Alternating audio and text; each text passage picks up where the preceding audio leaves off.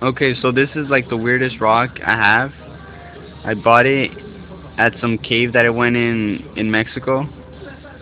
I bought it like for eight dollars or less.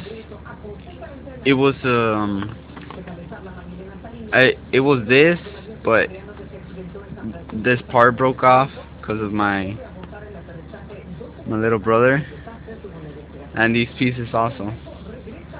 So it looks pretty crazy though. Like in the light.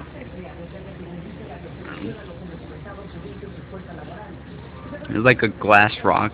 If any of you guys know what it's called or yeah like any name for this kind of rock, can you guys tell me? It was part it was in a cave that's near those other caves that form like you know those weird crystals. I don't know, I saw in National Geographic, but this this one's different from those. It's like clear to see through. You can see my finger on the side right here.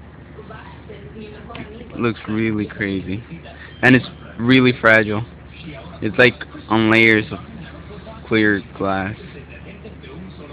Oh wait, later on I'll have a um, better resolution video. So.